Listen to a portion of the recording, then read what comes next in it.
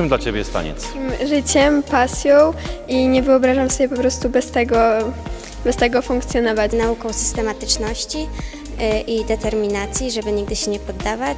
motywacją e, oraz również e, odpoczynkiem od e, szkoły i od stresu. Oderwaniem od rzeczywistości, takiej stresującej i ciężkiej i mogę wtedy wykonywać moje pasje. Pozwala mi być w 100% sobą i robić to, co kocham. przyszłością, ponieważ na scenie mogę być kimś innym niż jestem na co dzień. Czymś, co sprawia, że chociaż na chwilę mogę zapomnieć o swoich problemach.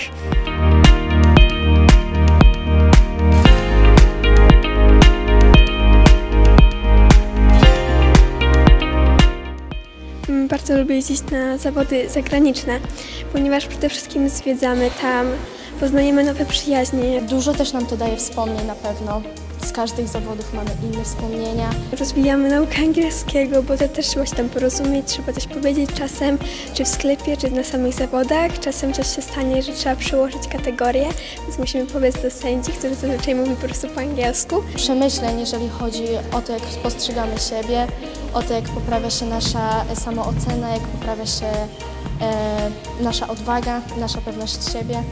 Zespołowym sukcesem to pewnie wicemistrzostwo na Mistrzostwach Europy z jazzu, pierwsze miejsce na Mistrzostwach e, Świata w Czechach, w Libercu. Sponsorzy są y, dla nas wsparciem w tym, aby dalej robić to, co kochamy, ale aby dalej em, poświęcać swój czas, swoje chwile i robić to, co kochamy, czyli tańczyć.